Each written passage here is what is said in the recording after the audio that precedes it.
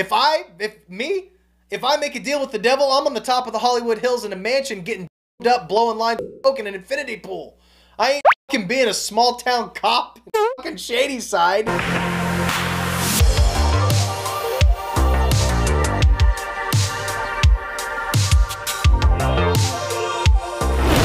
Going on, everybody? Welcome back. Justin here. As always, thank you so much for clicking on today's video. I really do appreciate it. Please show your support for my videos and my channel and my algorithm by liking and commenting down below. It helps out more than you know. YouTube appreciates engagement, so the more people like and comment, the more YouTube wants to share this video with others who might have interest in it, and then the channel grows and we all meet new friends, we're all a big happy family and we have a, a bigger community here, so like and comment down below and subscribe. Let's go ahead and get into today's video. We're going to be talking about Fear Street 1666. It's finally here. We finally made it to the third movie. I'll link all of my Fear Street videos down below, my reviews. I covered the music, I covered the books, I covered everything. Been along every step of the way. It's been so much fun following this whole saga from before the movies even came out. I was talking about the books and how they might relate to the movies, and I broke down the music and I reviewed the other movies. Now we're here to talk about 1666. Um,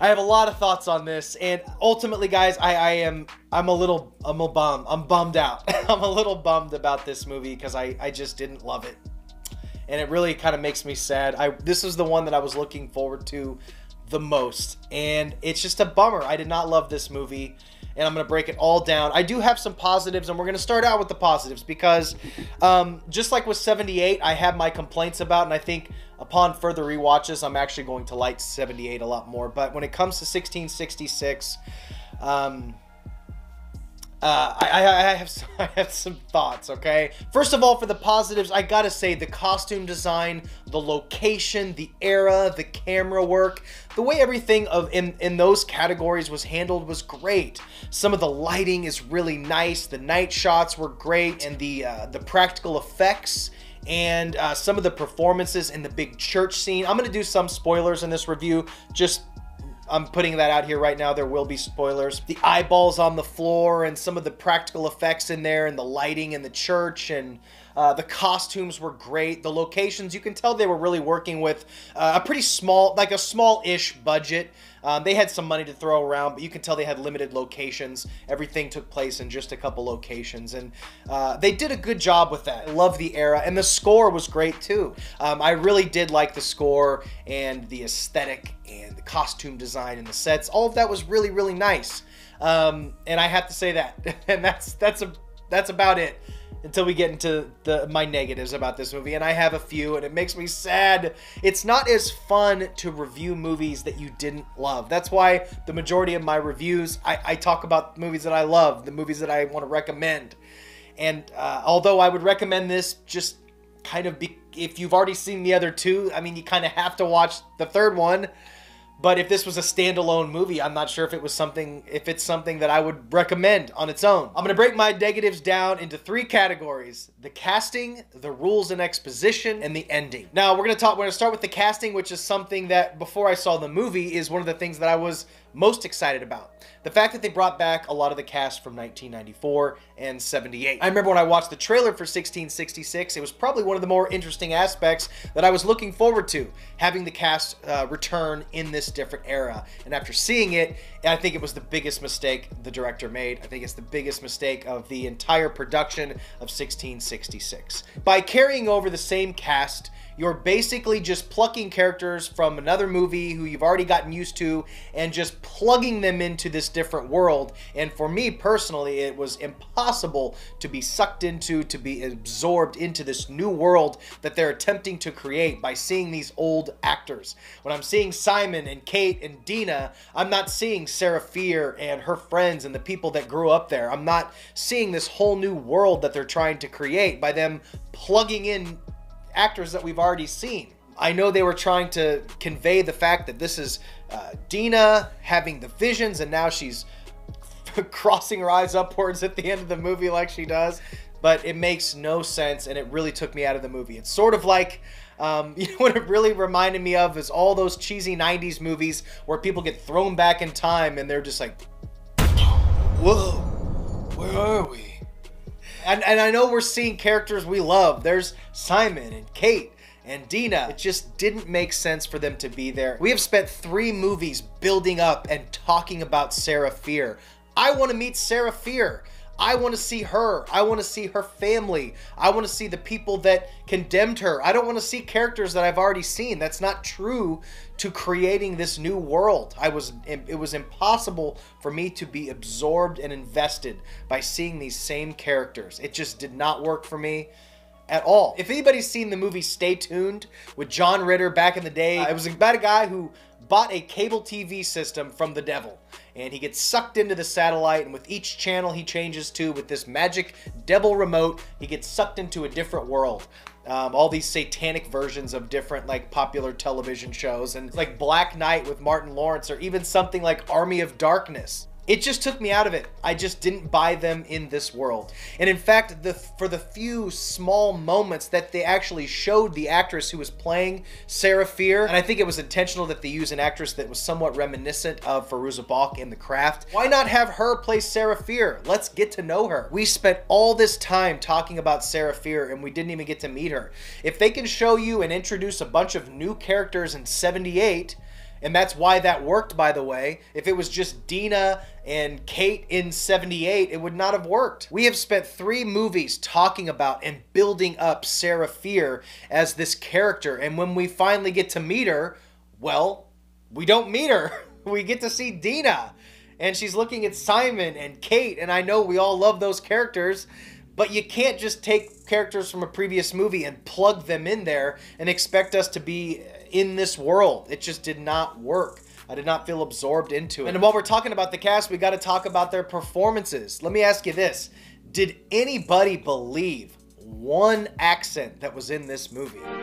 Aren't you even a little curious?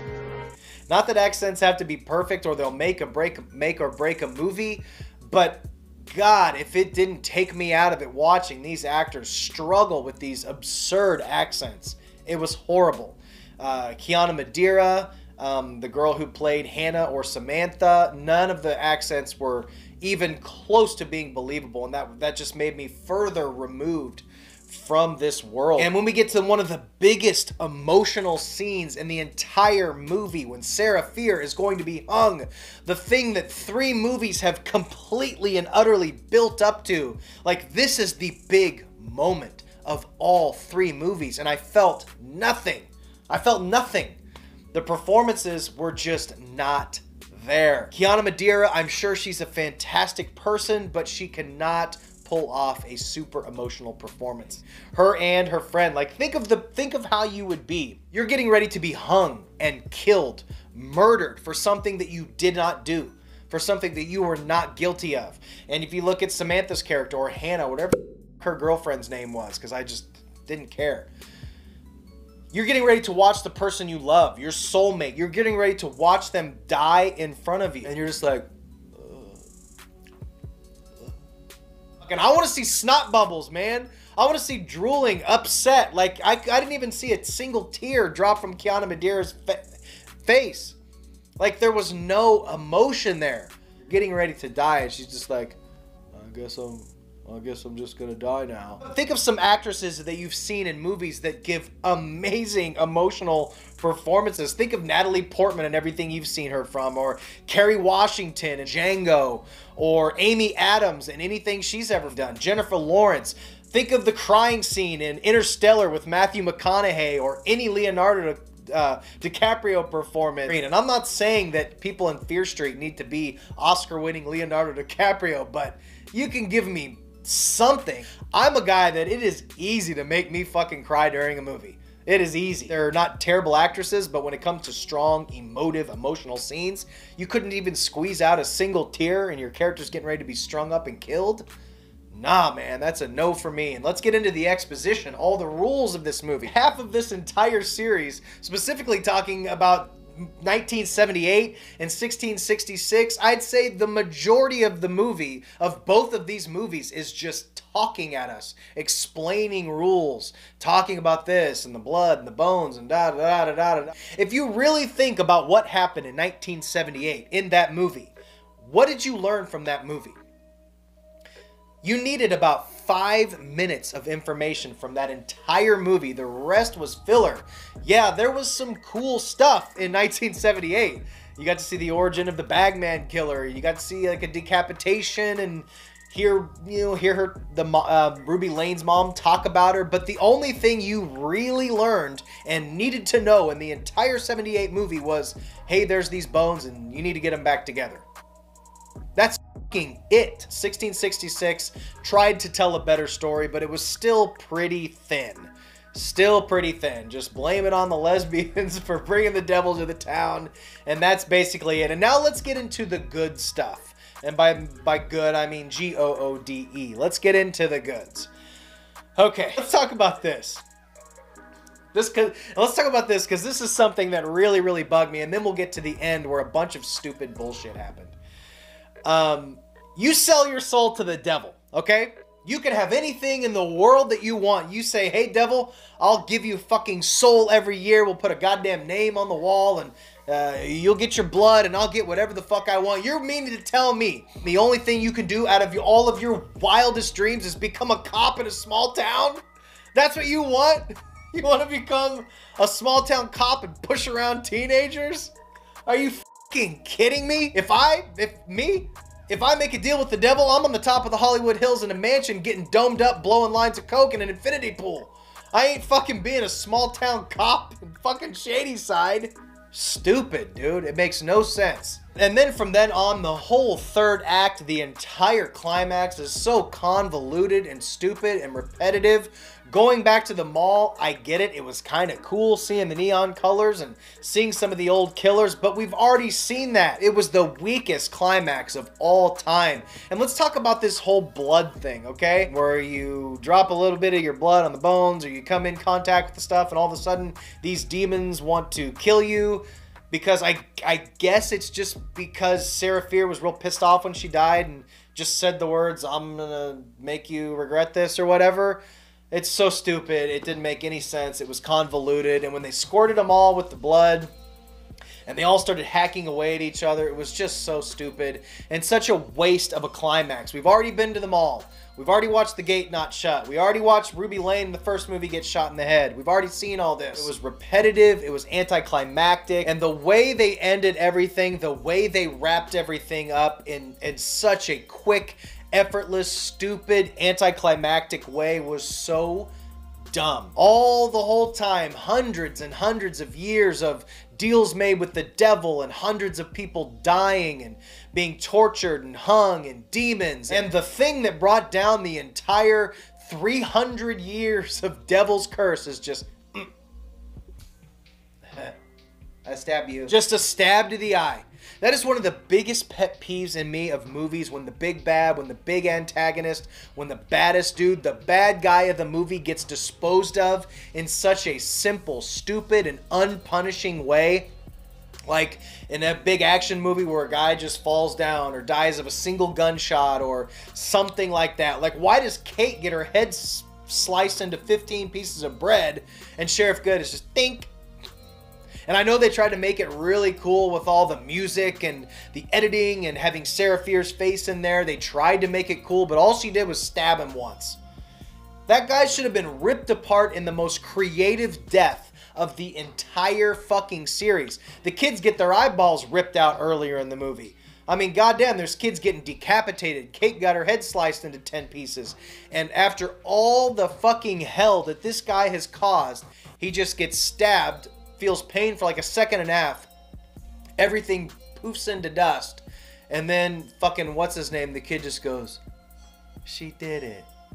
That's it. Like, what? This movie was such a letdown. I, I, just I don't even know what to say. This was this honestly is not how this review was gonna go. It kind of turned into a rant, and I'm sure I'm going to piss people off who really loved it, or I know this isn't as structured as my reviews normally are, but that's going to be a no for me, dog. I just didn't, I didn't care for it. And They left a little cliffhanger at the end where the person pulls the book off, but they managed to cram a few 90s songs in the last few minutes. But ultimately, I did not like this movie. For my rewatchability score, three, maybe. Out of 10 what do, you, what do you guys think? Let me know your thoughts down below. I'm done ranting. I have a bunch of videos i still have to shoot this weekend so i'm going to move on to the next video. But so guys that's all i got. I really appreciate it. Like comment subscribe all that shit and i think we're done here. Stay weird. Remember to always be yourself and i'll see you in the next one. Bye. I love movies. Gosh, I love movies. I love watching them and I love making them.